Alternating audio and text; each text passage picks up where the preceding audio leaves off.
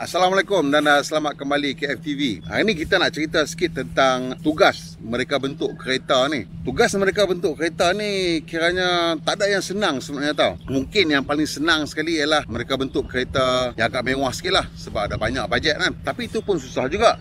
Sebab bila you reka bentuk kereta yang mewah, Maksudnya dia punya harapan pembeli itu sangat tinggi. Jadi spesifikasi yang kita bagi, reka bentuk yang kita bagi kenalah yang paling canggih di dunia. Ha, kalau kita tengok itu pun satu benda yang yang susah.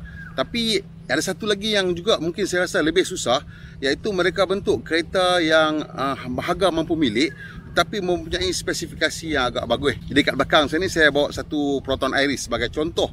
Kereta mampu milik ni dia macam pekan kecil macam Teluk Intan ni lah kan. Teluk Intan ni kalau dia Assalamualaikum dan uh, selamat kembali ke FTV kawan-kawan. Jadi tadi video pendek tadi saya tunjuk tu ialah video yang kita baru uh, naikkan di YouTube channel kita iaitu mengenai Proton Iris lah. Kalau hampa berminat nak tengok apa lima kelebihan Proton Iris, uh, pergi tengok video tu kat sana.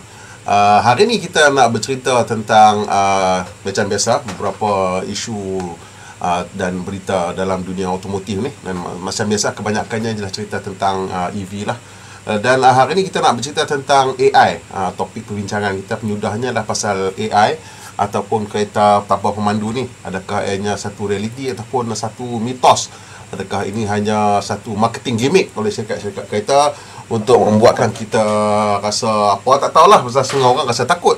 Yang rasa seronok tu tak tahu ramai ke tak ramai. Ramai ke kawan-kawan kita di sini suka ataupun teruja dengan idea kereta tanpa pemandu tu. Uh, saya sebenarnya teruja tapi saya tak tahu berapa cepat boleh dapat dan berapa selamat lah uh, teknologi tersebut. Tapi apa-apa sebelum tu kita cerita dulu tentang uh, ini berita daripada US lah. Uh, GM General Motors ni dia banyak juga kan melaburkan duit dalam uh, idea fuel cell lah. Dia BMW, Mercedes-Benz dan juga uh, BMW tak sangat lah Mercedes-Benz, Hyundai dengan Toyota saya rasa Toyota lah paling banyak melabur duit sebab yang dah menghasilkan dua generasi uh, Prius lah. Dua generasi ketiga generasi Prius dah yang dah hasilkan dan uh, juga menghasilkan dua generasi Toyota Mirai. Uh, dan untuk GM dia kata mungkin mungkin fuel cell generator akan boleh menjadi tempat uh, bekal kuasa untuk tempat charging lah. Mungkin di kawasan-kawasan yang jauh ke kan? Yang terlalu remote mungkin eh Cuma saya punya persoalan satu je lah. Kalau alang-alang nak guna um, hydrogen fuel cell ni, uh, why not just use generator diesel biasa saja dan bateri? Sebab kalau you nak menghasilkan uh, elektrik lala tu juga dengan hidrogen, masalahnya hidrogen ni tak boleh nak simpan. Ni benda ni ramai orang yang macam susah nak percaya bila saya cakap bahawa hidrogen ni susah nak simpan you dengan teknologi terpaling canggih sekarang you akan kehilangan sekitar 5% hidrogen setiap hari. Itu kalau you simpan hidrogen dalam bentuk cryogenik ataupun bentuk cecair yang dapat suhu yang sangat rendah. Dan you balut tangki tu kau-kau punya dan you simpan dia elok-elok dia masih kehilangan 5% pasal hidrogen tu dia akan mendidih juga sikit-sikit kat dalam tangki tu dan dia akan keluar sebab hidrogen dalam bentuk gas memang kita belum cipta lagi satu jenis injap ataupun seal ataupun gasket yang boleh menghalang hidrogen daripada uh, menitih keluar lah. Tak boleh lagi. Belum tak boleh tak boleh kita belum cipta lagi teknologi itu. Seperti yang kawan-kawan tahu hidrogen ni adalah uh, elemen yang paling ringan dalam alam semesta dan dia juga elemen yang paling kecil lah.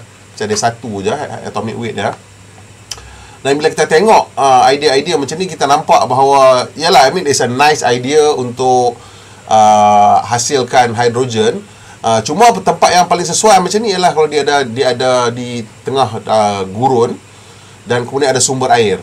Dan of course then you get green hydrogen lah. But then again my question will still be you know kalau you nak buat macam tu buat apa nak sibuk-sibuk convert electricity tadi untuk hydrolysis nak hasil hydrogen hydrogen hasil electricity balik? Might as well you ambil solar panel tu simpan terus power dekat dalam bateri dan bateri tu sim, tembak pergi ke kereta elektrik. Jadi ini saya tak tahu kat mana tempat dia nak gunakan benda ni. Mungkin di tengah-tengah uh, hutan Amazon ke kat mana ke yang di mana matahari tak boleh nak dapat dan uh, minyak pun susah nak dapat tapi hidrogen senang nak hantar lah kan atau macam mana saya tak tahu lah kan kok mana tempat yang ada macam tu saya tak tahu tapi dia kena cari satu tempat yang mana hidrogen lebih mudah dapat daripada minyak lah daripada diesel lah kiranya ha. mungkin uh, 100 tahun lagi akan datang mungkin diesel lah tak ada orang jual dah. Ha, mungkin dia boleh lah kot. Tapi buat masa sekarang saya tak nampak lah. Hydrogen fuel cell ni saya nampak dia punya kegunaan dia agak terhad lah buat masa ni. Mungkin lah kapal angkasa lah kot. Itu pun itu pun terhad jugalah sebab dia bocong lah. Tu cerita dia itulah dia tentu so ya. Yeah. so anyway itu dia punya cadangan daripada uh, uh, GM lah uh, ni pembuka pembuka sembang kita malam ni pembuka sembang kita malam ni mengenai kereta uh, kereta autonomous ni eh. Jadi Tesla driver charged with felony after deadly crash killing two. Tesla was reportedly on autopilot when it ran a red light causing a fatal collision. But prosecutors aren't mentioning autopilot. Nah, saya akan sebut saya kenapa auto, auto, prosecutors aren't mentioning autopilot. Kenapa dia tak mention autopilot? Kenapa autopilot tak tak akan uh, disebut uh, dalam dalam isu ni sebenarnya kerana ada sebab dia. Ha, sekejap kita cerita kenapa. Tapi apapun uh, pemandu ni dia on autopilot dan dia punya kereta langgak lampu merah. Uh, so jadi bila langgak lampu merah memang jadi masalah uh, jadi masalah dan menyebabkan kematian lah. So bila menyebabkan kematian memang akan kena masuk mahkamah lah kan. Kalau setakat uh, langgak tembok je orang tak heran sangat ni ada kematian lah. Kemudian sambung lagi cerita AI ni. Jadi Pony AI ni ialah satu syarikat China dia tengah reka bentuk autonomous driving lah punya sistem uh, dan uh, Toyota nampaknya berminat lah untuk uh, nak cuba sistem ni eh. Uh, dalam uh, kereta Toyota mana tak tahu tapi yang dia tunjuk ni ialah uh, Toyota Sienna lah. Uh, Toyota Sienna ni ialah sebuah uh, MPV keluarga yang besar lah. Ni ada di Amerika lah kat sini tak ada. So dia akan cuba dalam kenderaan saiz ni tapi rasanya mungkin untuk untuk taksi ke apa untuk apa saya tak pasti. Saya rasa dia tak akan jual uh, secara direct lah kan. So Pony AI ni kata dia baru je uh, lancarkan uh, 6 generation level 4 autonomous. Uh, jadi level 4 autonomous ni apa maksud dia? Dia ada level-level dia level 1 sampai level 5 uh, sekarang kita akan cerita. Dan kita akan cerita kenapa benda ni penting. Uh, definition ni penting. Kita kena faham definisi ni dalam dunia ni benda yang paling penting sekali ialah mengawal definisi makna sesuatu benda kita kena faham makna kalau makna kita tak faham apa benda buat pun tak apa benda nak jadi. So definition is very important. Hari ni kita nak cerita sikit tentang definition benda-benda ni. So ini daripada Shenzhen pula. Shenzhen lagi best. Bagi free parking terus. Eh. Ha, hang pakai kereta elektrik, aku bagi free parking. Hang pakai plug-in hybrid, aku bagi free parking. Ha, bayangkan kalau kat Malaysia ada start bagi free parking untuk semua kereta elektrik dan kereta plug-in hybrid macam mana? Ramai tak kawan-kawan nak lompat pergi sana terutama kawan-kawan yang kena parking kat KLCC kan ha? hari-hari parking kat KLCC kan Woo, bayangkan dapat free parking aku rasa ramai jugalah akan lompat pergi kan uh, tapi ini menunjukkan yalah uh, it's just the additional thing that that that cities bandaraya dan negara dan negeri tawarkan untuk buat anjakan ke kereta elektrik ni. Jadi kenapa? Kenapa orang nak buat anjakan ke kereta elektrik untuk China jelas lah dia orang udara kotak lah. Jadi dengan dengan anjakan kereta elektrik nampak udara tu jadi bersih. Ha, jadi nak argue kok mana pun tak tahulah kan. Ha, nak argue kata apa penjana kuasa tu kotak apa aku tak tahu tapi udara aku nampak bersih. Mungkinlah penjana kuasa tu kotak tapi kalau nak campur asap ha, keluar pada pun exhaust kereta ni banding dengan asap keluar kat stesen jana kuasa tu mungkinlah mungkin ada perbezaan. Ha? Mungkin ada perbezaan di situ. So itulah menyebabkan depa push ni atas sebab yang uh, uh, jelas lah kan Waalaikumsalam Marizami Mungkin Haji Full nak cari ROI Tapi tak jumpa-jumpa Itu sebenarnya ah, Pandai Pahang Memang mereka sekarang ni mempunyai masalah ROI lah Jadi antara sebab kenapa uh, Hyundai Berhentikan uh, proses pembangunan uh, sistem uh, hydrogen fuel cell Untuk dia punya jenama Genesis dia ialah sebab tak boleh nak dapat ROI tu. Dia tak boleh nak dapat the profitability, the margin dia tak boleh nak dapat. Dia memang tak boleh nak dapat sekarang. Sampai sampai dia give up lah. Ada dua brand lah yang offer hydrogen fuel cell ni. Uh, Toyota dengan Mirai dia dengan Hyundai dengan dia punya Nexo ke apa benda ke lah. So dia orang ada offer Dua company ni offer fuel cell vehicle Tapi mereka pun dua-dua tak boleh nampak Macam mana nak gerak beyond whatever that they already have nantilah kan ha. so Oh, terima kasih berinting. Biasalah kan. Uh, saya rasa Iris tu sebenarnya underrated sikit lah. Underrated. Some things it's better than the competitor but something the competitor is much better. Nampak macam mana kan? Uh, so, pilihlah tepuk dada tanya selera lah dengan Iris tu kan. Uh.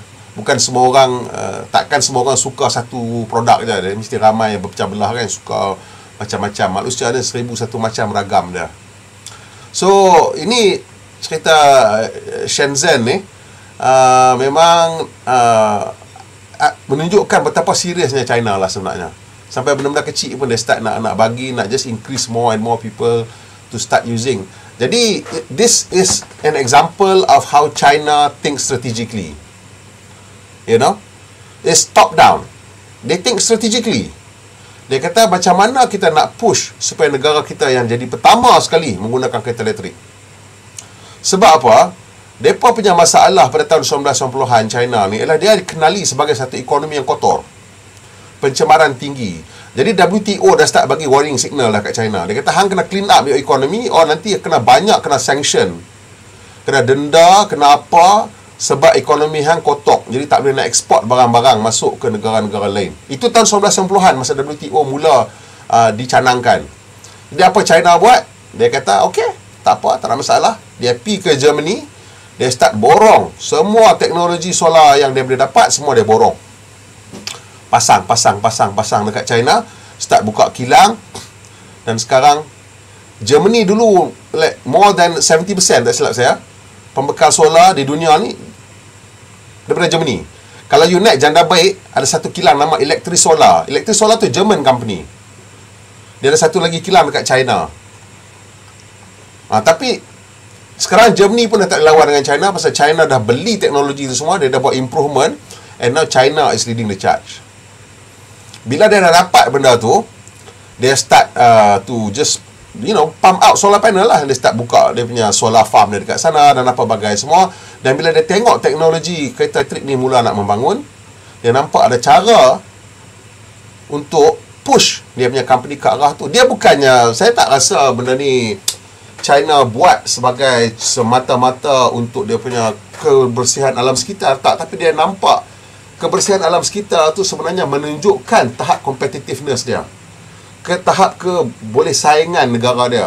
Sebab kalau negara dia boleh bersih dan masih lagi boleh menghasilkan uh, produk yang banyak that means dia lah yang paling cekap. Pasal dia tak kotok maksudnya dia tidak ada pembaziran dari segi tenaga.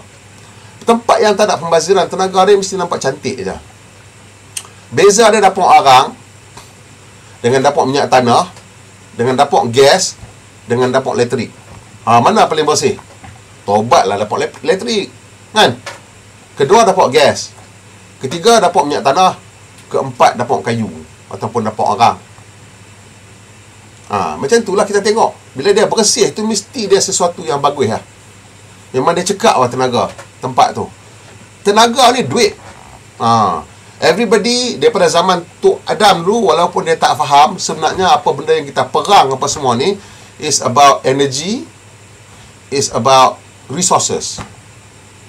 Kebanyakannya ialah about energy lah even though it comes in the form of a bus even though it comes in the form of uh, gold and silver even though it comes in the form of food production is all about energy. Sebab emas tu kita boleh beli sumber tenaga Mak, kekayaan tu kita boleh beli sumber tenaga. Actually, the fight has always been about energy. It has never been about anything else. Even when we are fighting for gold, we are fighting for energy. So sekarang, the focus towards energy itu becomes more fine, more refined. And from that energy punya fight, kita dah nampak the ultimate fight is for information. Pasal kita adalah IT age ni, kita tengok macam mana yang kaya sekarang ialah orang yang kawal maklumat. Jadi macam mana kita nak kawal maklumat tu? kita kena ada sistem yang pintar. Ha, sistem yang pintar. Nampak tak saya nak pergi mana ni? Ha, saya nak pergi mana? Saya nak pergi mana ni? Sistem yang pintar. Ha. Untuk autonomous level ni dia ada pattern antara syarikat kereta. Dia ada pattern. Uh, ada pattern, pattern as in uh, tahap lah. Ha. Saya tak tahu apa maksudnya lah. Uh, Assalamualaikum semua Pendapat saya di sini Akak ada untuk jangka masa lama Mungkin dalam tujuh hingga 10 akan hilang 7 hingga 10 apa? Abad. Uh, Dekad Saya rasa diesel 50-60 tahun pun akan ada lagi diesel. Tapi mungkin permintaan dia dah makin berkurangan lah. China ada 3 gorgeous dam dengan annual generity 101 terawatt hour. EV banyak untuk guna renewable energy tu. Ha, Yalah. But 3 gorgeous tu tak telah cukup lah untuk China. Dan China is such a big country That 3 gorgeous dam is hardly sufficient for maybe like one or two of their two maybe three of their cities lah. At the most lah. At the most lah. Kan? Uh, 101 terawatt. I don't know whether how many city berapa negeri negeri dia besar. Dia ada satu bilion orang. Aku tak tahu uh, macam mana on average macam mana Ustaz Ustaz eh? kita tengok Ustaz kita tengok Ustaz aku kira Ustaz apa IT ni? On how many kilowatt hour does one person use a day. 58.4 kilowatt hour eh, per day eh. So saya tak tahu bila you cakap uh, 101 terawatt tu maksudnya total for one year ke macam mana production capacity. So let's assume this one lah lebih kurang 60 lah kita bagi eh. 60 lah bagi. So kita tengok uh, calculator Ustaz.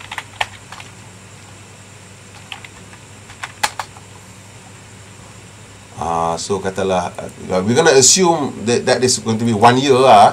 Was it one year? One day? One. That's the capacity at any one time. Okay, let's assume it's capacity at any one time lah.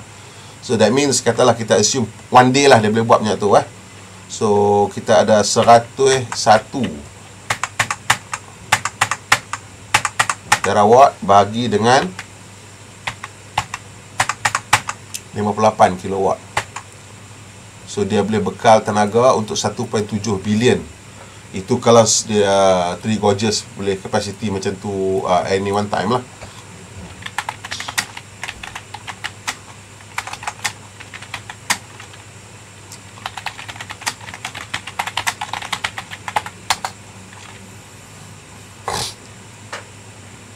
Tu 22 uh, terawatt. 22 terawatt. So it's 22 terawatt. So start lah. 22 divided by 58 dia boleh supply 379,000 people punya electricity. Hmm.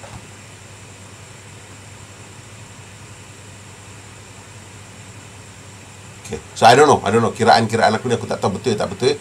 Tapi abang ikut mode passion abang, uh, abang ikut mode passion ni selalu dia cakap lah benda-benda macam tu. So dia beritahu kat saya, saya pun uh, kira lah tengok takut uh, saya tak faham kan.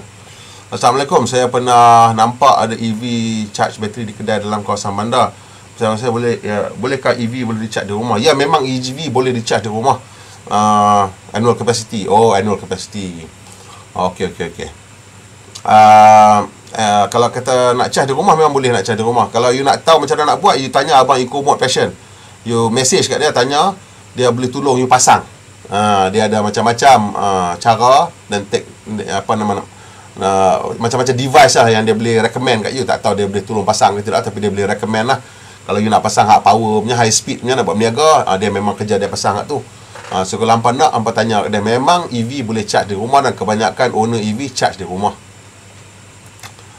Maknanya dengan mematuhi regulation antarabangsa boleh menyebabkan satu negara lebih berdaya saing. Ya, dia bukan dia macam ni tau. You kena uh, tahu tak setengah orang suka komplain. Tukar peraturan dia merungut. Tukar peraturan dia merungut. Tapi peraturan tu bertukar ada sebab kadang-kadang. Kebanyakannya lah bila kita tengok benda tu level playing field and everybody is acting in the best interest, selalunya pertukaran tu ada niat baik lah. Kan? Dalam contoh ni memang pertukaran tu ada niat baik. Tama cuma kita di negara-negara membangun terasa macam kita ditekan. Sebab apa? Negara barat dia dah lingkupkan dia punya tanah, dia punya alam sekitar dia dah. Kalau you pergi England nak jumpa hutan susah lah. Yang dia tunjuk gambar cantik tu semua ladang. Kan? Tanah habis dah hutan tu, tak ada apa. kat Germany kan tunjuk cantik tinggal Black Forest sikit je. Enam negara mana yang banyak hutan? Jepun. Jepun hutan malam-lambak. Dia buat tak tahu eh kat hutan dah suruh potong. Norway hutan banyak. potong sikit tanam, potong sikit tanam. Kat situ jambar boleh buat. Nampak? So cerita dia kita kena tengok benda tu sebagai satu yang positif. Pasal sebenarnya setiap pokok tu adalah lebih berharga daripada berapa duit yang nak dapat bila hang tebang pokok tu dan masalah yang datang selepas hang tebang pokok tu. Ha ni dia cerita dia. Jadi kalau hampa kenal lah geng-geng yang suka tebang pokok ni kan. Tak kira lah kuning ke apa ke kan. Pi abang depa tengok. Ni. Masuklah ke tahun 2022. Orang dah tahu dah kata benda ni semua tak boleh macam tu. Hampa tanam balik lah buat ladang. Ladang balak. Tunggu 50 tahun, 100 tahun. Eh, tok nenek kita tanam pokok durian untuk anak cucu makan. Hang takkan tak boleh tanam balak bagi anak cucu makan. Hang kaya dah. Kan? Betul tak? Sahabat dia lagu tu. So sebenarnya bila kita tengok perubahan-perubahan undang-undang yang dilakukan, tu semua memang menggalakkan kita menjadi lebih cekap tenaga. Sebab cekap tenaga ni maksudnya tak banyak pencemaran lah. Itu saja.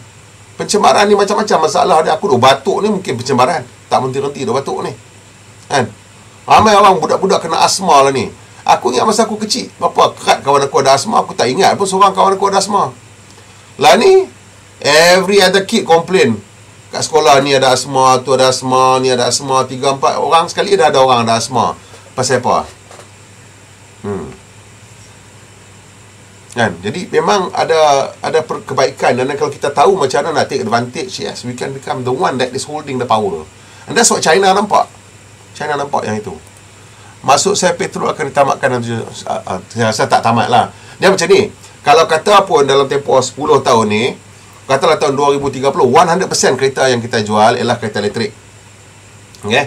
ada berapa puluh juta kereta dalam Malaysia ni nak kena tukar semua tu dulu Pasal kalau kata tahun pertama kita jual all electric car, pada tahun tu ada berapa juta kereta dalam, dalam Malaysia?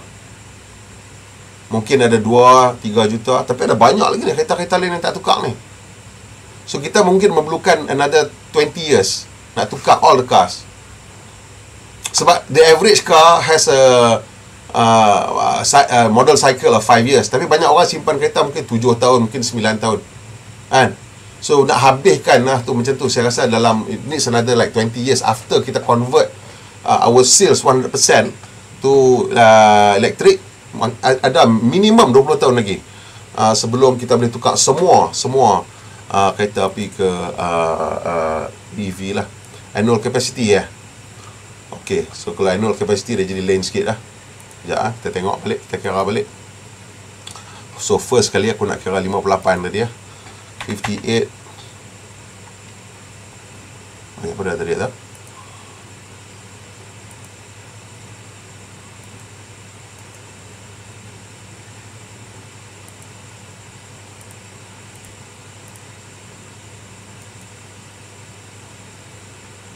per day per person 58 kilo hour per day per person calculator?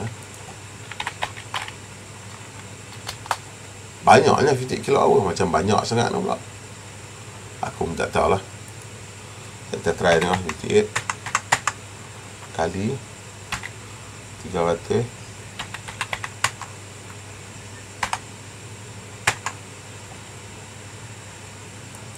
Ambil betul hmm. Sat, sat, sat. Kita kira betul How much electricity does one one person use in a year. Which US citizen 10.9 megawatt. Well, I'll assume it's around 6 lah, 6 megawatt for the rest of the world lah. Assume I'm to assume it's ten, uh, it's to I'm to assume it's around uh, 6 to 7. I'm to assume 7 lah. Huh? 7 megawatt lah. 7 megawatt. So tadi 101 terawatt lah. 101 bagi dengan uh, 6 megawatt. So dia boleh supply 16,000 uh, person. Macam sikit lah. Aku tak tahu lah nombor dia seperti betul lah. Tapi mampu lah. But anyway, the number is 101 terawatt lah per hour uh, terawatt terawatt untuk setahun lah. So itu 3 quarters punya capacity lah. Selama 4 tahun bateri EV ni akan kaput. Adakah perkembangan teknologi sedia ada yang akan mengatasi e-waste ni? Adakah ia green tech? So kalau you tengok sekarang ni antara yang uh, yang tengah leading the way is uh, redwood materials. Jadi kalau you tengok redwood materials ni ialah satu syarikat yang diasaskan uh, oleh uh, this guy. Uh, one of former Tesla punya founder lah. Uh, Jamie Straubel. So ini dia memang recycling of uh, uh, battery material. And dia dah start recycling dan tahun ni dia dah start hantar balik those recycle uh, battery punya yang dah reconfigure balik sebagai raw material untuk hantar balik ke kilang Panasonic uh, di Nevada. Uh, so untuk guna sebagai bateri balik lah. So sistem kitar semula tu dah bermula, ekosistem kitar semula bateri tu dah bermula dan we expect uh, so for them dia orang kata dia orang boleh capai uh, lebih kurang lebih daripada 85% katanya. 80 hingga 85% atau mungkin lebih pada tu lah kadar kitar semula untuk bahan-bahan dalam bateri. So memang dah ada sekarang usaha-usaha untuk kita semula tersebut eh. Ni pula cerita uh, autonomous railway vehicle. So autonomous railway vehicle ni tak pelik sangat sebab kat Malaysia pun bersepah. Cuma kat US tak ada ah. Mungkin tak ada ah. Tak tahu lah US ni depa macam ke belakang sikit pula kan macam kereta api. So for them macam oi autonomous railway vehicle Hanek eh, LRT Putra LRT tu autonomous. Uh, Hanek MRT 1 autonomous uh, LRT Star tak uh, monorail tak tapi LRT 3 nanti autonomous MRT 2 autonomous MRT 3 pun autonomous so ini mungkin untuk apa saya tak tahu tak nampak kok mana sangat apa yang macam hebat sangat pun. Uh, mungkin dia punya autonomous tu as in entahlah uh, dia mungkin tak rely on central programming lah kan. Tapi uh, macam mana pun dia still kena boleh baca signaling atas jalan ni nak pergi stop dia ke jalan ke. Uh, so macam kereta api kita kat sini autonomous as in no driver. Uh, tapi dia kena dia boleh baca signaling ah dia boleh baca signaling I don't think dia baca secara visual memang ada visual uh, signal. Ada lampu merah lampu lampu hijau dekat sebelah track uh, Putra LRT dan juga sebelah track MRT satu. Uh, tapi kenapa ada benda tu ialah bila dia kena pandu secara manual? So dia orang ada they maintain the manual signaling tapi when it's running autonomous dia tak baca. Dia signal tu bergerak berfungsi macam biasa. Tapi uh, kereta api tu dia tak ambil saya tak rasa dia ambil uh, video capture signal tu lah. Uh, lampu tu dia ambil video cap, dia ambil signal uh, elektronik daripada track lah dia capture straight macam tu ataupun secara melalui radio transmission lah dia mungkin ada RFID uh, atas dia punya bumbung apa apa untuk baca signal-signal macam tu lah atau kalau tak RFID pun any some kind of radio transmission lah kan ha, untuk benda Tapi ini menunjukkan bahawa eh, teknologi autonomous ni dah semakin menular lah. Orang makin nampak kelebihan dia. Antara kelebihan dia lah ialah, ialah cost lah. Nampak macam tak tak fair kepada pemandu. Ha, sebab itulah dia cerita dah. Dia nak kurangkan bilangan pemandu lah. Ha, siapa yang jadi pemandu tu dia mungkin rasa ush nak yang aku lagu ni ha, tapi tu dia lah China dan USA pernah rajuk autonomous tech tapi NHTSA sendiri yang membantutkan kemajuan autonomous US dengan siasat atau pilihan FSD Tesla secara berat sebelah. Apa pendapat abang? I think right now memang ramai orang dengki dan jaki kat Tesla lah. Tak boleh nak buat apa.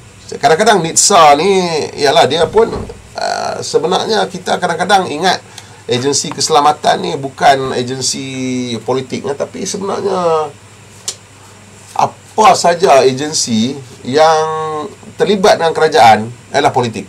Hmm. Because there are political appointments kat situ. So bila ada political appointments, kita tengok flavor of the day. Eh. Flavor of the day, eh, Joe Biden. Kan? Flavor of the day, Joe Biden. Dia kata GM, pelopor teknologi elektrik. Dia tak mau sebut nama Tesla langsung. Tak tak jemput Tesla, tak apa pun. Jadi kita tengok benda tu memang saya rasa adalah kebenaran apa yang cakap tu iaitu memang sekarang ni uh, investigation tu mungkin berat sebelah. Tapi I think Tesla pun needs to play a better role lah in representing itself. Pasal dia pun kadang-kadang dia buat tak tahu je kan. Uh, uh, apa nama tu bila governmentnya agency mungkin uh, apa saya tak tahu lah macam mana kenapa jadi sampai macam tu lah. Pasal nak kata dia tak pay attention, dia yang punya software update tu lagi cepat daripada NHTSA punya uh, macam investigation pun. Sebelum ada investigation dia dah buat update dah. Dah solve masalah. Kadang-kadang you complain masalah dah selesai sebelum paper keluar untuk buat investigation. Tesla dah selesai dulu dah. Kan? So saya tak tahu kenapa ada orang macam nak berat sebelah lah. Tapi memang saya nampak macam saya setuju lah. Mereka memang kadang-kadang tengah berat sebelah sekarang ni. Jadi ini ialah uh, cerita tentang bateri ya. Jadi bateri ni Ramai kita tengok bateri ni sebagai bateri lah Macam bateri dalam phone kita tu lah Ataupun bateri dekat lampu studio tu Bateri.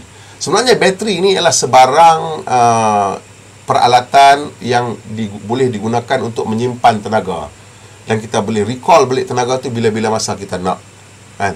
Jadi salah satu cara yang paling uh, mudah untuk hasilkan bateri ialah dengan menggunakan sistem hydro macam ni lah Maksudnya dia ada tangki atas satu, tangki bawah satu, tasik atas satu dengan tasik bawah satu.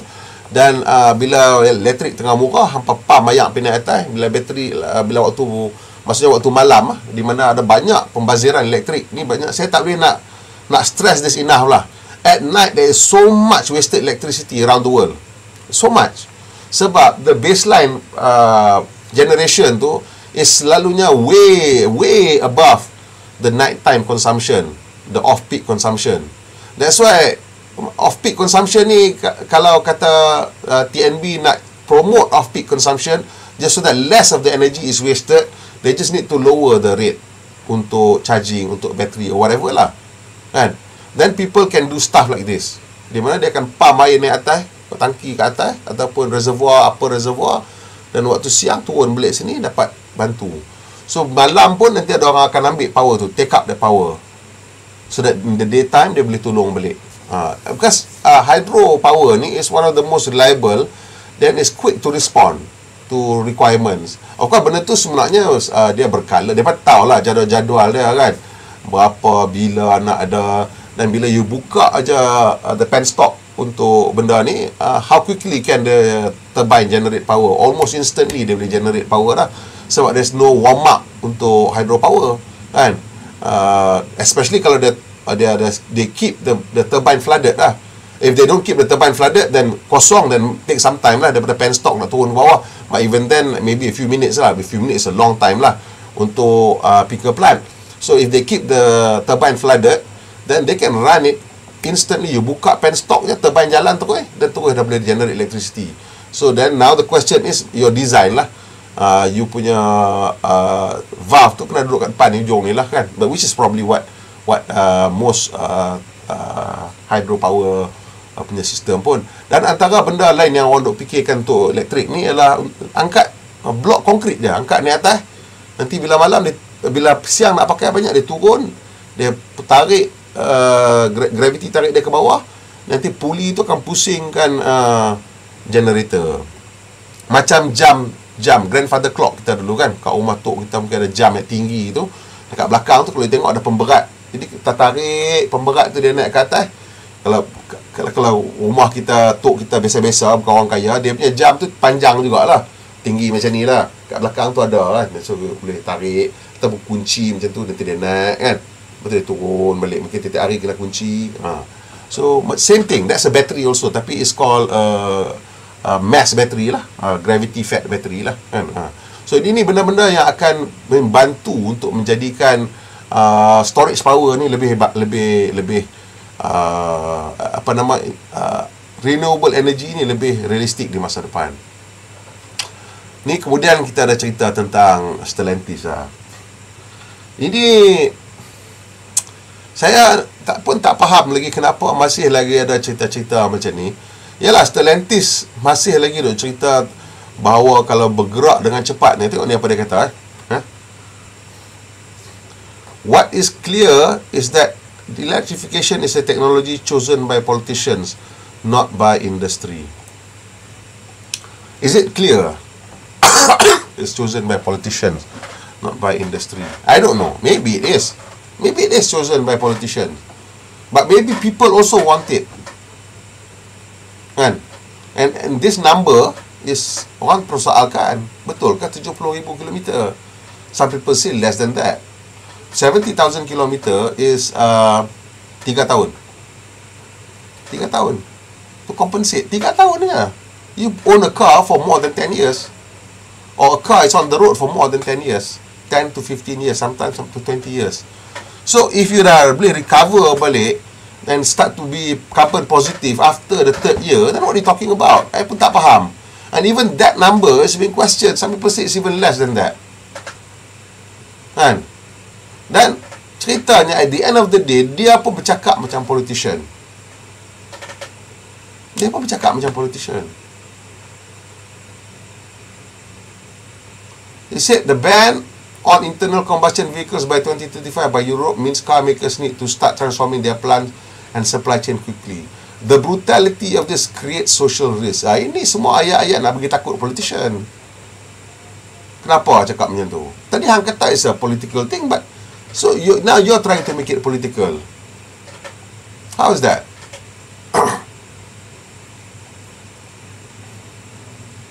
Herbert Diess tahun lepas dia cakap terang-terang dia kata kalau tak trial kita tak bergerak cepat we will lost we will lose 30,000 jobs as many as 30,000 jobs.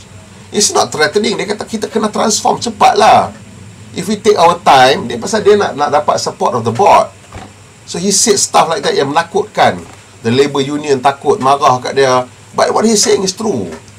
You know how you know that what he saying is true? Ah, pasal Tavares pun cakap benda sama. Tavares day he may not be able to justify keeping every manufacturing facility that produces car for Stellantis open in the future. Ah, Ini ialah ugutan kepada ahli politik. Setidak-tidaknya ahli politik yang mana dalam kawasan mereka ada kilang Stellantis akan pergi jumpa lah. Tavares akan sanggup belayan Tavares. Kalau Tavares kata ini nanti dia akan bangkang lah dalam parlimen dia.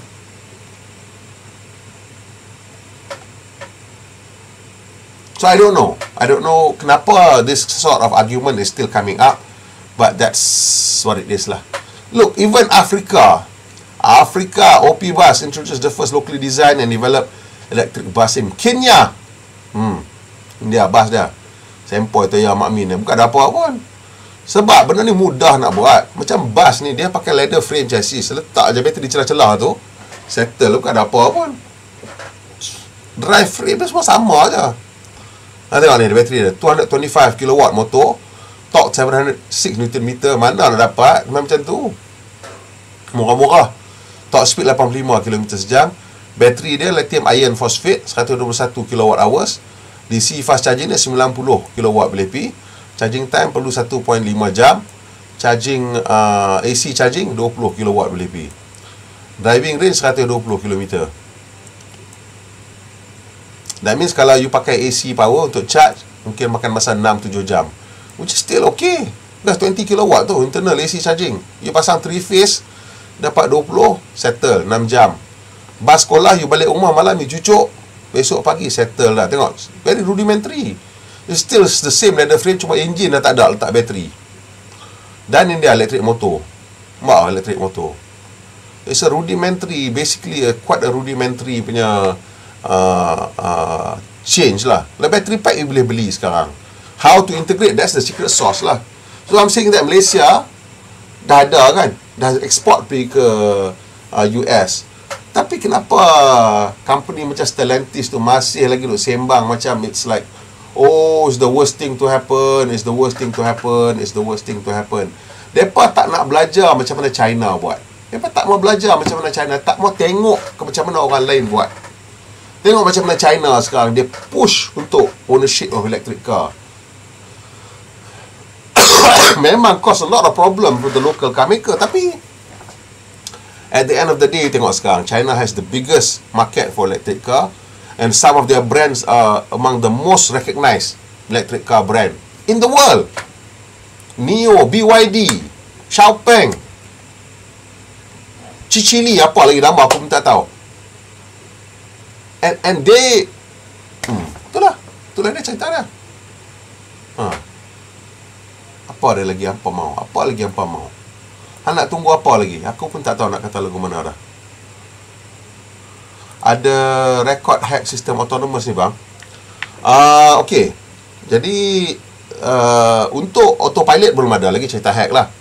Dan untuk Tesla punya autonomous ni cerita dia dia payah nak hack sebab uh, you kena you have to be able to hack the signal from the camera.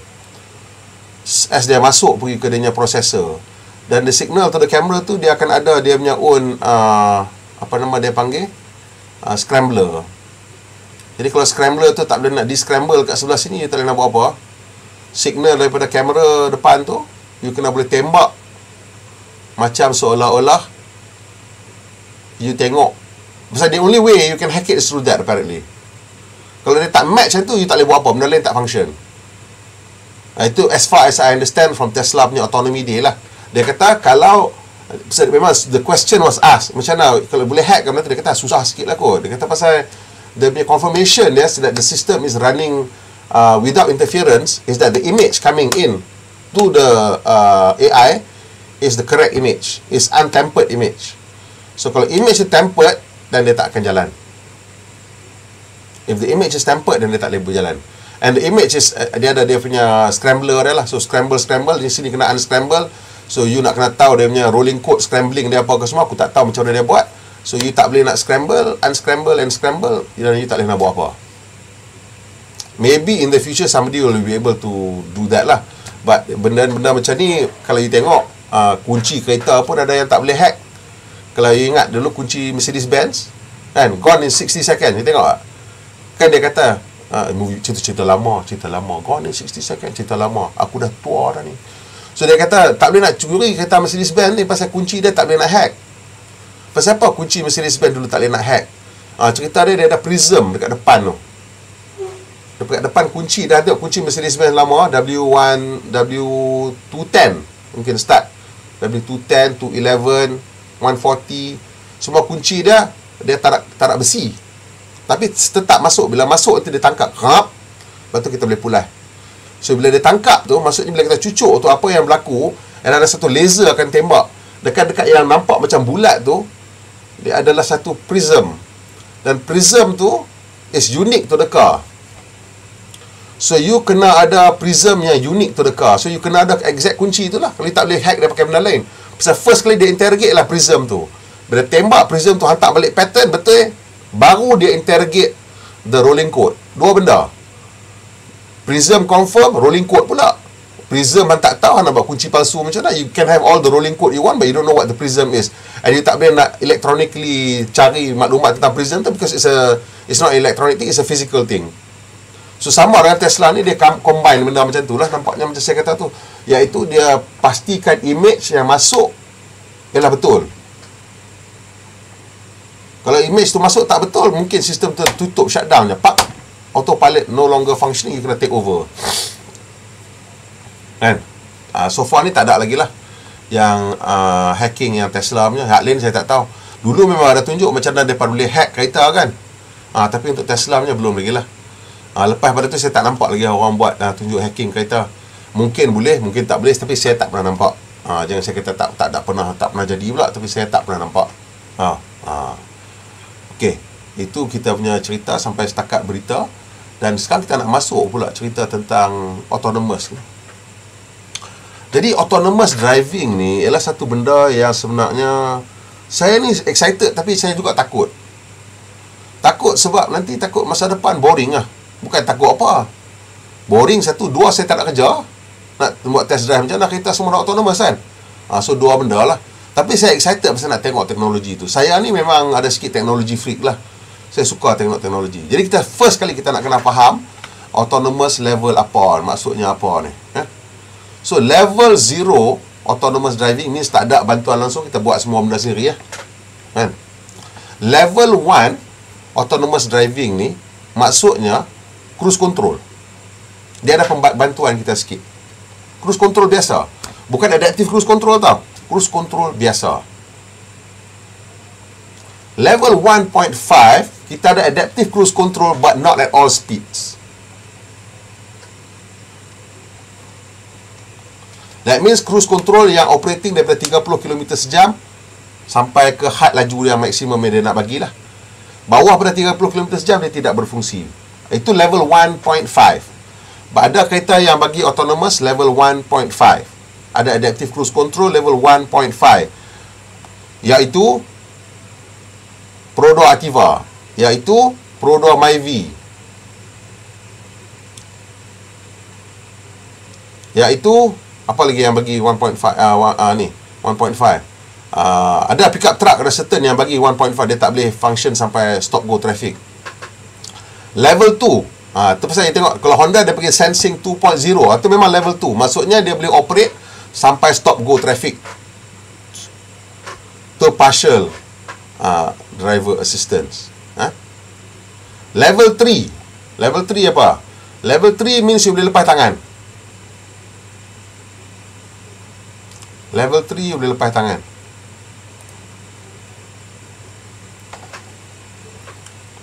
lepas tangan. Tapi you tak boleh tak tak, tak you tak boleh tidur you tak boleh tengok tempat you kena tengok tengok depan. You boleh lepas tangan lepas kaki tapi kena tengok depan. Itu pasal untuk level 3 dia dah ada driver monitoring. Dia perhatikan kita. Sebab the car is in control now.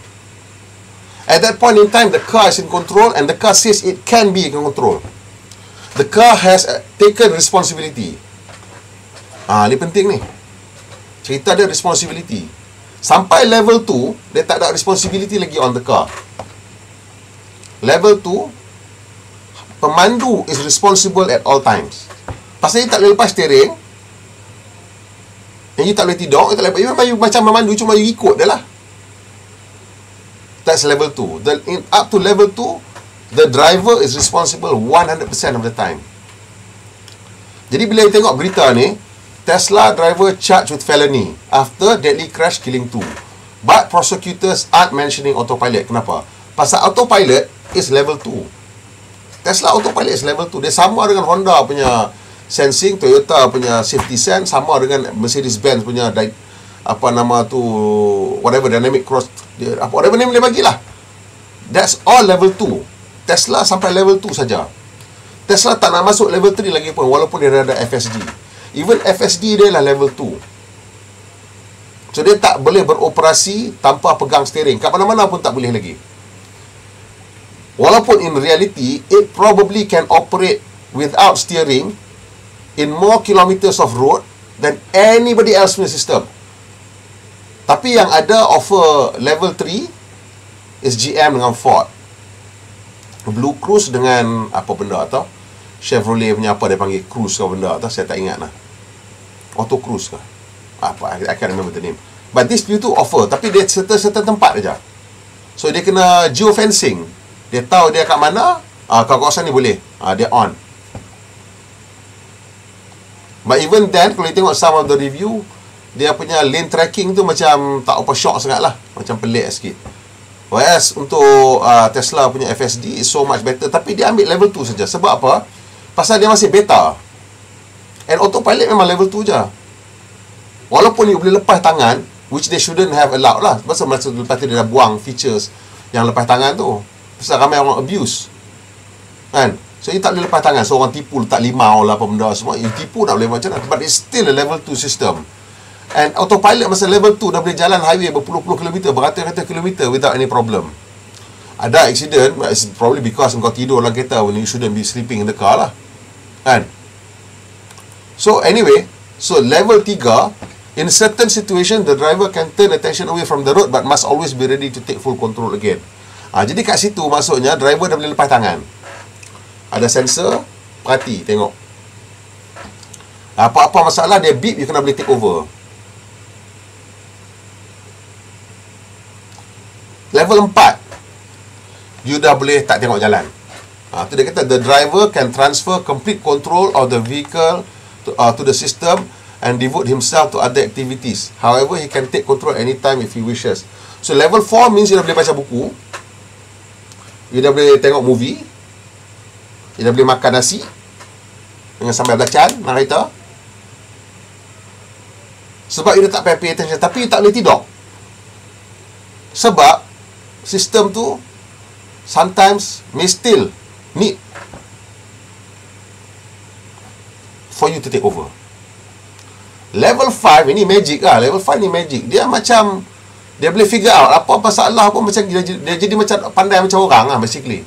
Ada masalah apa pun dia boleh figure out. Kecuali dia ada accident lah. Kan? Dia ada accident, dia tak lebih mana. Kan? So the level 5 is bila You boleh hantar kereta tu pergi ke rumah, dia ambil orang, dia pergi hantar ke location B, lepas tu dia pergi buat benda lain pula apa ke, that's level 5. So si abang Tesla ni dia nak level 5. Orang lain happy at maybe level 3. Some people say they can do level 4. I tak selesai Audi A8 kata dia boleh buat level 4. But only in certain conditions. Koma AI dia kata aku tak mau tanggungjawab. Pasal level tu tak nak tanggungjawab. Level tu tanggungjawab semua kat driver. So Koma kata dia punya sistem level 2 Sampai bila-bila pun level 2 je. Tapi dia tengah develop a system yang boleh buat capability sampai level 5 But there will always be a level 2 company. They might sell the software ke apa benda ke Untuk orang lain buat as a level 5 But they will never do level 5 Because it's about responsibility. Level 3, 4, 5 The car has to take responsibility. When the car takes responsibility Means the company has to take responsibility lah. Kalau hang bawa kereta Toyota Dia offer level 3 accident Dia kena, kena jawab lah. Honda punya uh, level 3 is dia panggil traffic jam pilot. Dia berfungsi pada kelajuan 30 batu sejam ataupun kurang tak salah 50 km sejam ataupun kurang. Masa tu je dia boleh berfungsi. Which is a lot safer lah. But even that is tricky juga. Kan? Betul tak? Traffic jam kena orang selit lah apa benda semua. So kereta tu still kena boleh handle kadang-kadang. Tapi at low speed. Enggak. So that's level 3 yang ada orang duk offer sekarang. Macam uh, uh, Ford dengan GM tu dia offer level 3 atas highway. Bila you boleh tekan nanti semua jadi biru. Mercedes-Benz pun offer benda sama. Setengah-setengah tempat dia boleh, dia jalan. Dia tak payah pegang steering. Tapi dia ada driver monitor. Tesla tak mau level 3. Dia duduk kat level 2 je. Sebab dia nak terus pergi level 5. Tak tahulah, whoever punya strategi yang betul kita tak tahu. Tapi yang paling menarik sekali ialah bila kita tengok Koma AI. Dengan a very small team, they are able to achieve something quite quite spectacular lah. Dia punya level tu macam macam macam Tesla punya autopilot plus lah. Tapi dia tak mau deal dengan uh, traffic light apa semua. Dalam town dia tak mau dia nak buat atas atas highway je. Pasal untuk George Hotz dia punya idea ialah untuk make driving relaxing. Dia bukan nak achieve uh, level 5. Dia nak kita boleh relax bila memandu. Kereta boleh bantu kita banyak dan atas highway lah yang kita boring. Dalam town kita pun boring juga. Tapi dia tak mau buat lah main tu. Ha? So, macam mana kita nak tengok benda ni sebenarnya? Bila bila kita akan dapat West level 5 autonomy possible?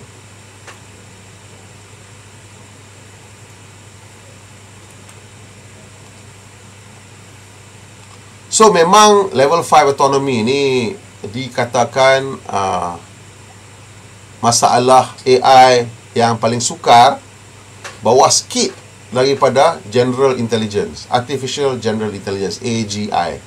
Okay? This is specific intelligence. Maksudnya this AI is designed only to solve the problem of driving. Okay? So this AI tak ada any kind of other intellectual capacity beyond the ability to solve the problem of driving. So this is purely driving AI. And driving AI because driving ni requires so many problem solving solutions at all times. Kan?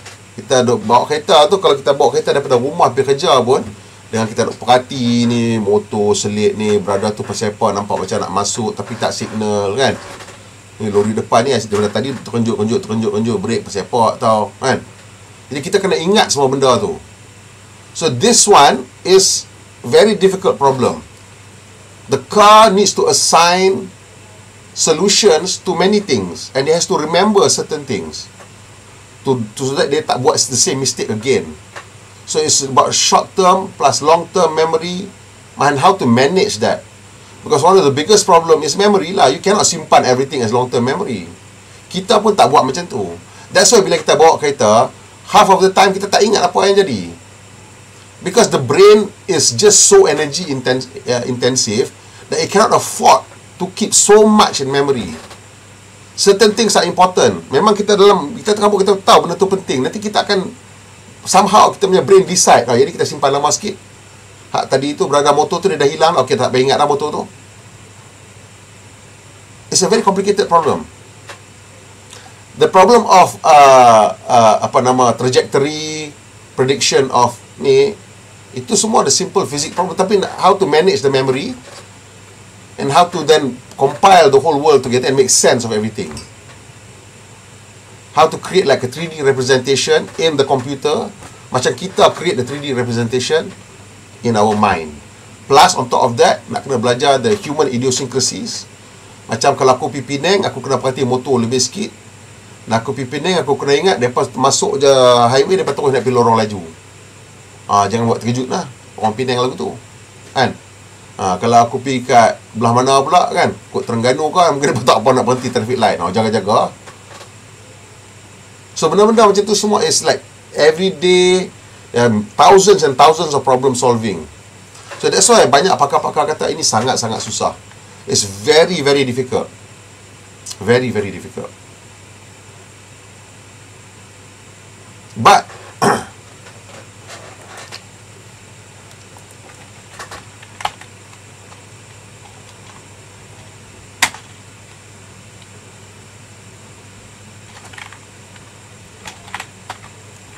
Ni cerita yang saya nak tunjuk ni ni. Sat. AlphaGo. Okay, AlphaGo. Okay.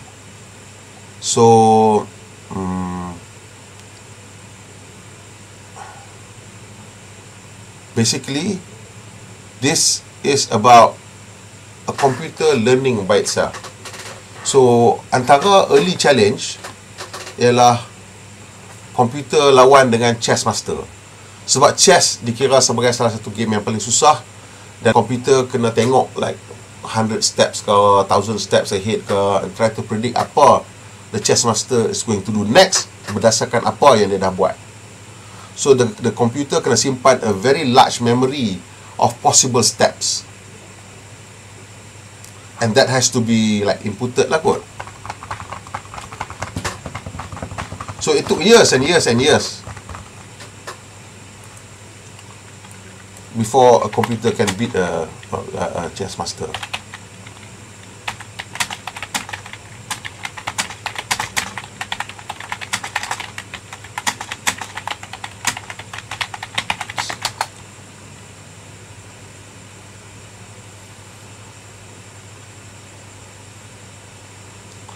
Tak silap saya dia memerlukan uh, 20 tahun lebih lah. 1994 I think they started that project around 1970 something lah. 20 tahun lebih kurang macam tu lah. Untuk komputer kalahkan Okay. So you kena tengok ni tau. You kena tengok dokumentari ni. You kena tengok dokumentari ni AlphaGo ni. It's by DeepMind. It's free kat sini. Memang ada AlphaGo ni. You tengok je dokumentari ni This is a free documentary. Tengok, in DeepMind punya channel. You tengok video ni. Sebab apa? Kenapa saya suruh you tengok video ni? Sebab the way that we are looking at things is very different now. So apa yang berlaku uh, masa dia orang buat nak nak beat this uh, Go punya game ni. Go ni like Korean punya game lah. Dia macam apa tau? Macam Dam. Dam Cina tak? Dam Cina yang ada lima bintang tau. Kan? Lompat-lompat lompat-lompat lompat tau. Ah, so itu dia punya game dah. So mula-mula depa ajak the computer the rules of Go. Okay? And it took the computer maybe tak silap saya lah satu tahun setengah ke dua tahun untuk dia kalahkan European Champion of Go. European Champion of Go ni kira kalau kat Korea tu tak apa lah. You know, ranking maybe nombor 100 ke apa kalau lagu tu lah. Dia tak terror sangat lah. Ha, lepas tu, bila dia dah buat benda tu they decided untuk for the final one to start from scratch. To start from scratch. So apa beza dia untuk yang ini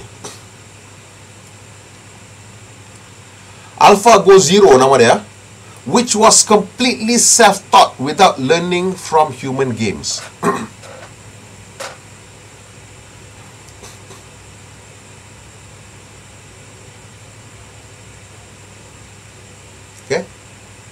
Alpha Zero was then generalized into a program called Alpha uh, program known as Alpha Zero, which played additional games including chess and shogi.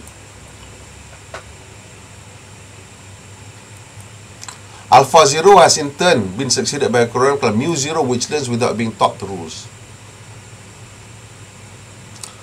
Lani, mula-mula dulu you kena ajak dia rule satu, you kena ajak possible move satu. Kedua, Ah, you ajak their rules and you mungkin ada some kind of fancy coding nak bagi dia cepat sikit proses ke apa ke.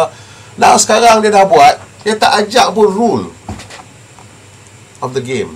Dia ajak basic rule of competition je. Mesti you kena menang lah.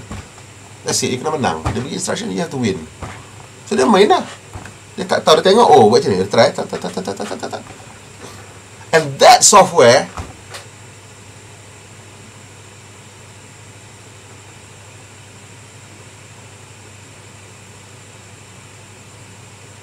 setahun. One year. In October 2015, a match against Fan Hui, the original AlphaGo became the first computer Go to beat a human professional Go player without handicap on a full-size 19 by 19 board. This is 2015 tau. Ni yang saya cakap tu yang dia, dia lawan dengan uh, like the European champion ke apa. Bukan, bukan the world champion lah. Okay? Fan Hui. In 2016, itu Oktober tau, in March 2016, it beat Lee Sedol in a 5-game match.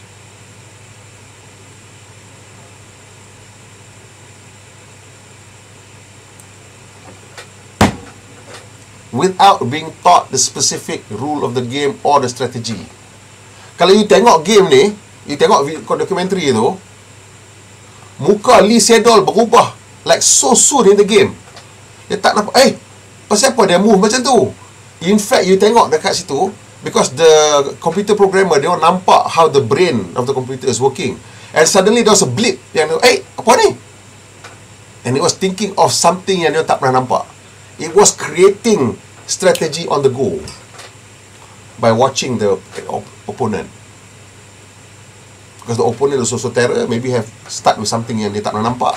So, they start to branch out, to fork out into a new strategy yang dia orang tak pernah nampak. You kena tengok. And that's what's happening right now in driving AI. Because they're, they're starting to, okay. So, basically kalau you tengok um, adaptive cruise control is called features. What is called is called features engineering lah. Maksudnya you design benda tu supaya dia ikut kereta depan. Kan? Ikut kereta depan. Satu feature lah you design. You engineer one feature. It's probably not that difficult. Pasal you boleh uh, do simple programming untuk you punya Lego Mindstorm untuk ikut you. Laju perlahan, laju perlahan dia ikut. Tak ada masalah. Bukan susah apa you boleh buat like a few lines of code dia dah boleh buat dah. But of course, it has to be more uh, the cycle dia laju lah untuk kereta kan. But it's not like, oh completely, I don't understand how this works. Tak, because it's just a matter of reading the radar return lah. And how how you must keep it within a certain distance. That's it. Right? Then you ada sikit satu kamera yang boleh nampak line. Dia baca line. Nanti ikutlah line tu. Basically it's the same thing juga macam Lego Mindstorm. You ada color tracker ataupun contrast reader and you boleh make that thing follow a black line. So basically you, do, you apply the same thing untuk tengok white line and keep that white line within a certain parameter and the car boleh baca just go left right left right left right left right dia baca it's a very small thing dia tengok okay this is staying true okay okay stay lah that's that's a sim- that's why level 2 punya adaptive cruise control tak ada responsibility because it cannot have responsibility it's a stupid machine but with very precise ability to measure distance and quite good ability to read lines. Tesla punya, Volvo punya quite good. Some of the Japanese not so good. Some of the Korean not so good. Tengoklah siapa yang mana you dapat. Faham tak? But now, they are going into machine learning. And people like George Hotz and all the others believe that this thing has to be end to end punya solution. Uh, what that means simply is that you tak you tak boleh ajar dia benda tu sebenarnya. You kena dia jadi macam mu zero ni. You ajar dia some basic rules or some basic kernel you bagi kat dia to avoid what? And then that thing learns by itself. That's why sometimes you tengok bila Ah, benda company lain tak ada benda tahu so saya hanya boleh I can only quote Tesla punya experience lah Tesla owners quote kadang-kadang bila dia upgrade new software dia macam ada drop sikit. Lepas tu dia naik balik. When new version dia drop sekejap tu macam dia naik balik. That simply means to me kenapa dia drop? Simply because that's a whole new learning algorithm or learning a new set of code lah. And this now has to somehow start balik at zero ke apa tak tahu. Tapi basically dia now is learning by itself. Artificial neural network deep learning method. Semua ni semua ni. Semua ni.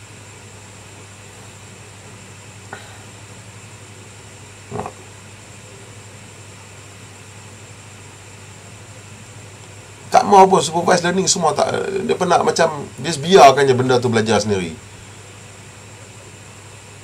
Ada macam supervised learning lah a little bit no? but but basically that lah. Machine learning. Uh, famously dia pakai this thing lah kalau you pandai programming ke apa benda dia kata ni lah Monte Carlo search ni. Monte Carlo tree search ni ada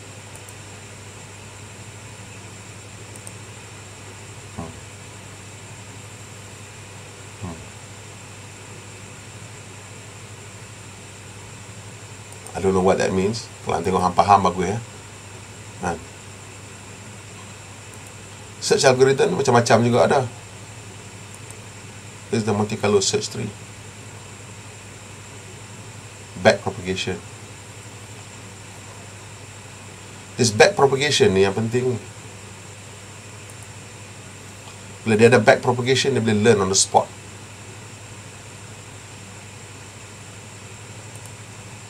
So, you tengok China sekarang. Again, eh. China sekarang push benda tu macam nak rak ni.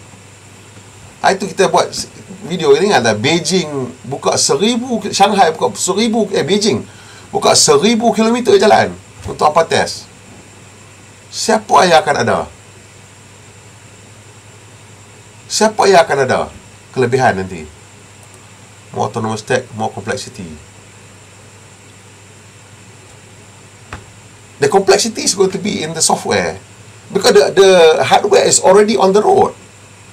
Any car that can do level 2 with lane tracking and lane centering can already become a level 5. The only thing that's stopping is the software.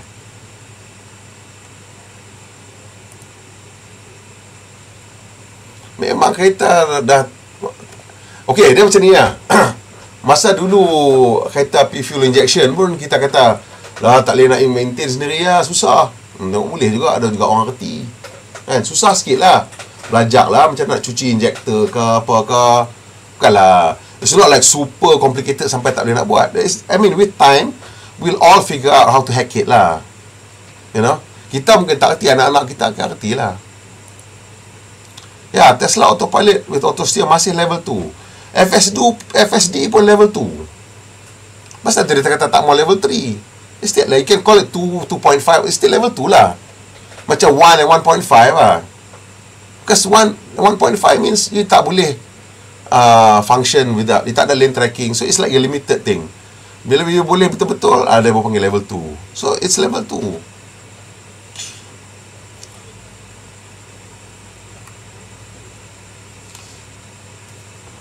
Untuk Tesla ni cerita dia because they are already willing to take responsibility. Because they already have Tesla software, eh Tesla insurance. Then they already offering lower rates to their own con- consumer ataupun their own owner than anybody else can offer. Kenapa dia boleh offer insurance rate lebih rendah daripada orang lain boleh offer kepada Tesla owner? Sebab dia dah tahu tak kereta dia selamat. Macam mana dia tahu kereta dia selamat? Senang je cerita dia. Nak tahu macam mana Tesla tahu kereta dia selamat?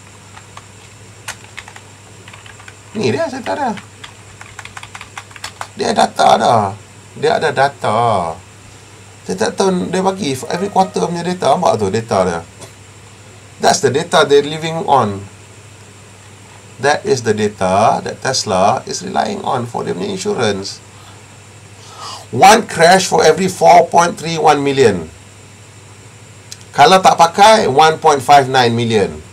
NHTSA punya number is 484. Kalau hang tak pakai autopilot pun it's still like 4 times safer. Kalau hang pakai autopilot it's like 10 times safer. So Tesla is already willing to take responsibility up to level 2. Nampak? Level 3, level 4, level 5 dia tunggulah software dia Terra. So apparently the strategy for Tesla is for them to see how bila dia sampai tahap mana di mana the the intervention rate drops to a certain percentage then dia kata okay now I can offer level 5 I'll take responsibility. Right now maybe the intervention rate is berapa kilometer ke berapa kilometer ke for every berapa kilometer ada intervention rate.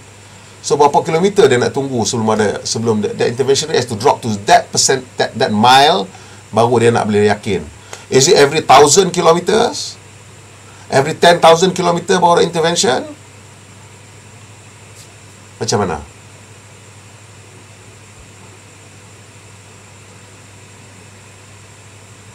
Ha, itu cerita dia. That's what Tesla is aiming for. So dia kita tak akan nampak benda tu selagi dia tak keluarkan FSD straight tu lah. And bila you tengok interview dia dengan Lex Friedman dia kata dia boleh capai the ability to do level 5 next year end of next year. So kita pun macam ya kah dia ni kadang-kadang gebang kuat juga ni. Elon Musk ni kan kari sembang ni boleh tahan juga kadang-kadang. Every year sangkut-sangkut-sangkut lambat juga nak keluar kan. Tapi bila tengok uh, Dave Lee sembang dengan James Duma dia kata what he thinks will happen is that Tesla akan perhatikan dia tengok. Kalau decision yang software buat tu is better than the decision of the driver Tesla akan mula override the driver. And bila that happens to a high percentage di mana the decision of the computer is like I don't know how many percent better than the driver then they will actually activate level 5 and then they will offer to the government say don't worry we'll take responsibility for everything that happens.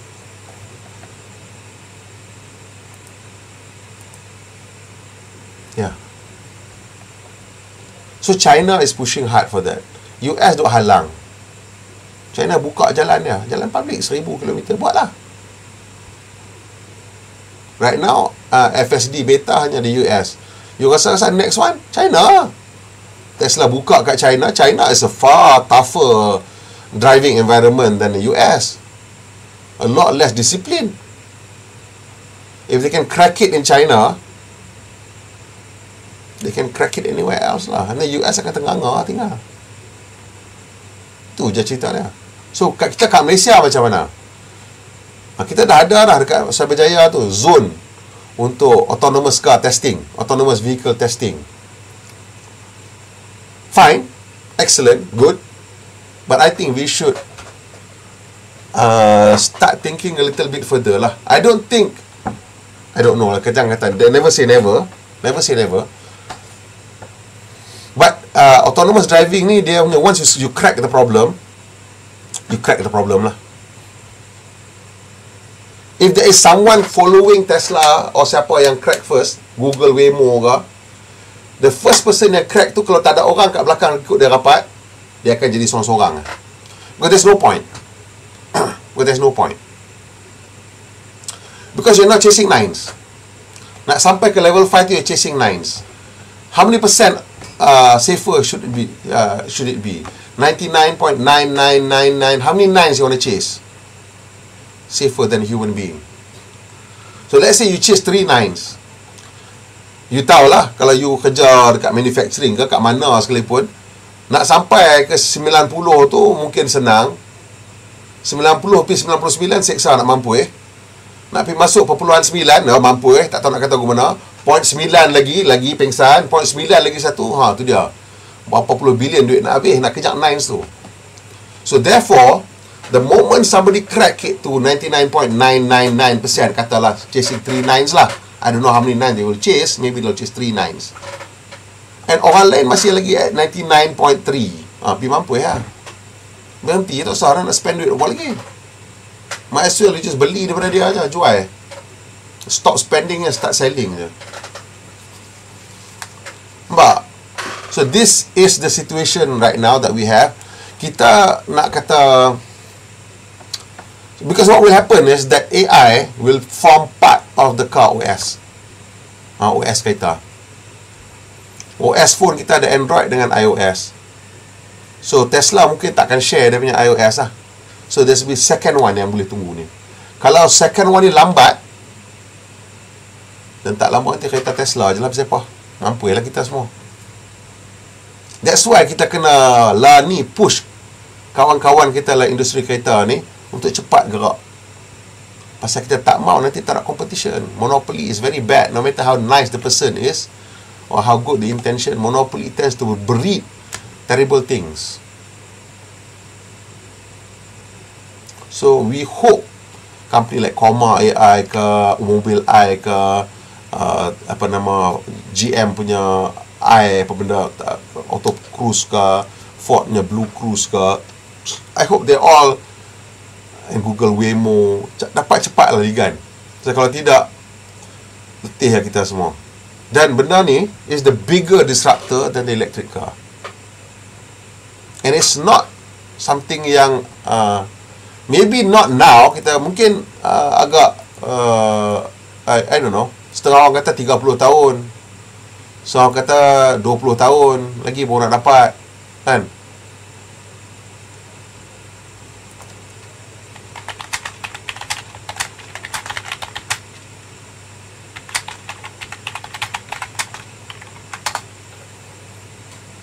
Twenty forty.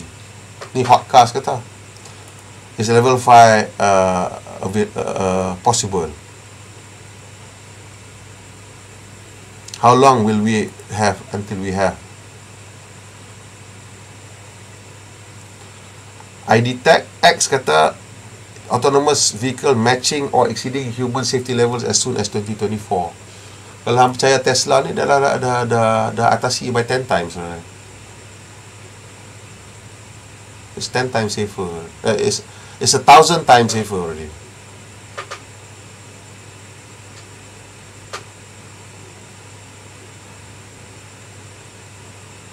A thousand times safer.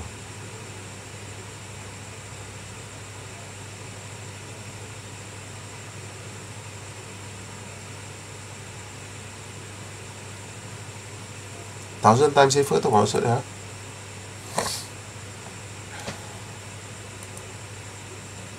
Aku pun tak tahu nak kira macam mana.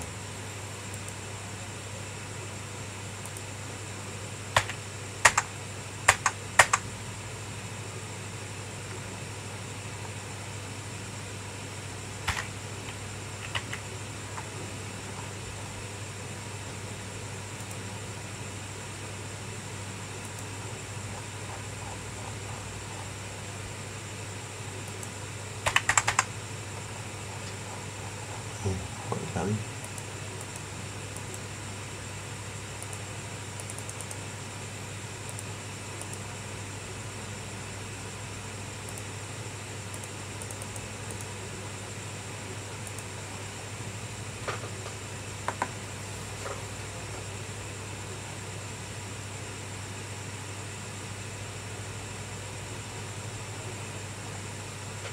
Hmm.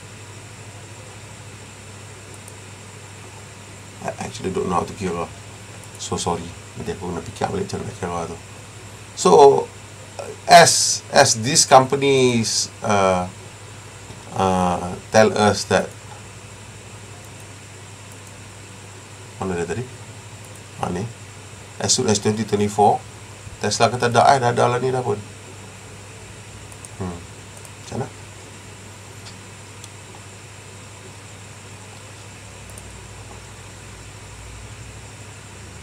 Tak perlu FLIR maybe FLIR lah maybe infrared will help lah. In in in you know you're right lah maybe infrared will be something yang instead rather than LiDAR just infrared camera you're right maybe that is some some solution to match uh, masa inclement weather lah. But so far dia orang kata pakai kamera biasa aja. So FLIR would give extended range lah visual range kan. So it's probably easier to incorporate into the software lah. Uh, macam mana nak nak nak perhatikan benda tu kan. Maybe FLIR on the not on the wide angle maybe on the telephoto. Kan? Nak tengok jauh sikit. But I don't know what how yalah FLIR is better lah. So dia dah boleh detect heat kan? So that heat detection can help a lot lah. You're right. I think that could be a thing lah. The hybrid technique of artificial neural network or support vector machine with any optimization against a genetic algorithm practical swarm optimization and see uh, are you forecasting purposes. Uh, okay. So I, I I don't know what the actual technique that Tesla is using lah you know. Uh, kalau you dengar dia punya uh, AID punya dia cerita tapi kita tak boleh tengok AID punya presentation tu. Soalan-soalan yang keluar daripada media hari tu soalan-soalan darjah satu lah. Saya dengar pun saya faham soalan darjah satu. Soalan dia terror lah tapi soalan darjah satu saya tak ada terlibat langsung secara detail dengan apa yang Tesla sebut tadi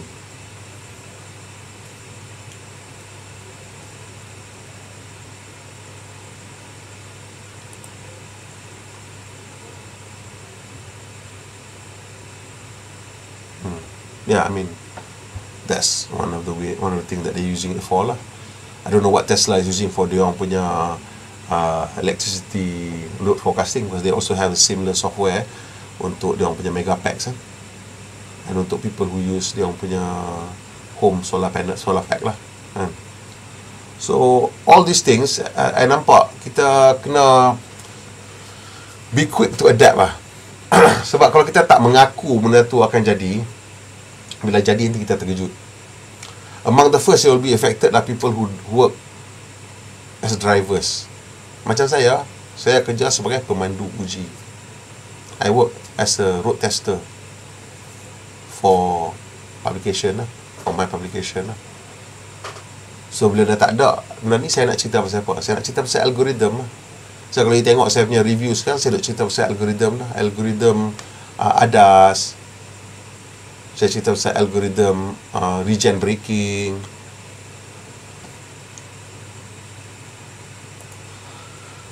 that that is what I think Tesla will do. Dia tak akan ambil level 3 dia tak akan ambil level 4 dia akan terus pergi level 5 they will skip level 3 and level 4 they will go straight to level 5 and there's a possibility they might go to level 4